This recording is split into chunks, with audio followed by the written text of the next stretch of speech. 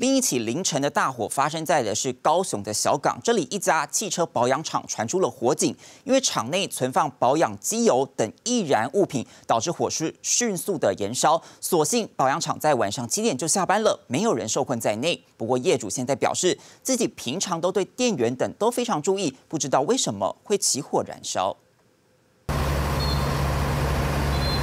火熊熊燃烧，大量的浓黑烟不断从铁皮工厂中窜出。二十九号凌晨十二点四十七分，高雄小港发生一起火警，火势不断燃烧，场面相当惊人。风，嘿，唔该，是内面上面物件易风易风啊，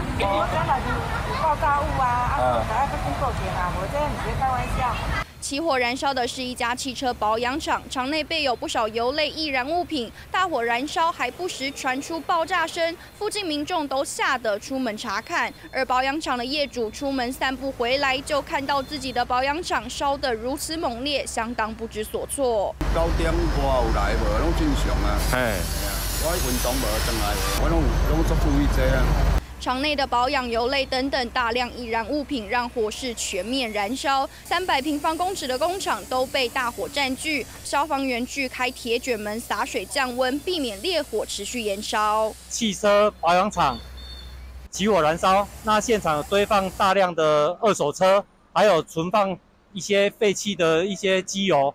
那我们立刻总共出了四条水线，还有一条泡沫。哦，将火势给压制。所幸大约半小时之后，消防人员就将火势控制，保养厂内也没有人受困。不过据了解，厂内停放了三辆汽车，还有两台是客人代保养的进口名车 BMW。在厘清起火原因之余，后续的赔偿事宜恐怕也让业者相当头痛。记者杨忠敏、林雨拉高雄报道。